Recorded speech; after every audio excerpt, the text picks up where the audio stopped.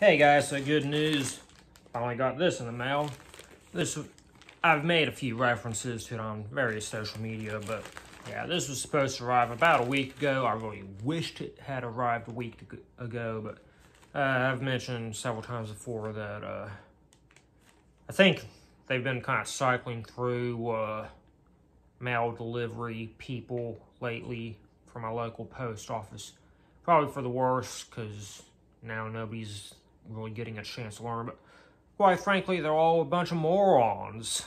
Always miss delivering my mail. But I finally got this, and uh, so yeah, I was really hoping I'd get this in time for Halloween. It's now November 1st, the day after Halloween. Let's see, as I always do, I'm gonna check thoroughly for any possible surprise extras, which indeed there is a, uh, I guess sort of like a bookmark slash business card deal. But this is from Cavity Colors. They do a lot of horror t-shirts. I think they used to be primarily a pen company because I remember uh, got, I think, just one pen from them back in the day. And I think I discovered them as a pen company. It's like a, we also got a little sticker as well. But yeah, they're primarily a horror t-shirt company. Uh, so this is uh, from one of my favorite uh, Halloween movies.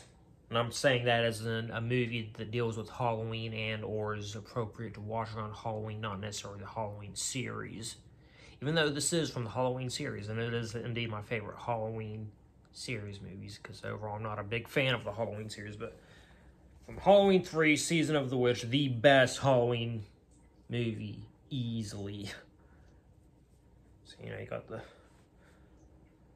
three masked trick-or-treaters, Silver Shamrock, watching their TV, bunch of snakes and shit coming out of it.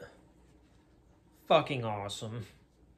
On this cool purple tie-dye. I've been kind of digging tie-dye shirts. I, I think I particularly like purple tie-dye for some reason. But yeah, I think this is available in black too.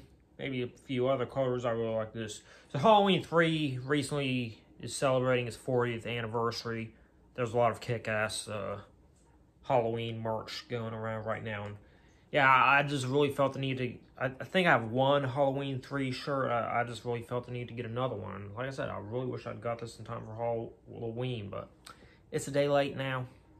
It is what it is. So yeah, that's my new t-shirt.